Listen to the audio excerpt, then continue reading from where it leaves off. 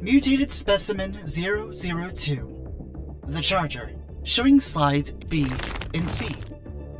Found wandering for a prime, shows evident signs of heightened nervousness and a reluctance to engage in direct eye contact. Has a remarkably well-developed physique. Shows signs of extreme nervousness despite her remarkable physical prowess. She has a tendency to run directly at perceived threats, or use force to address them. Subject possesses a Terminid abdomen, noted to be extremely sensitive.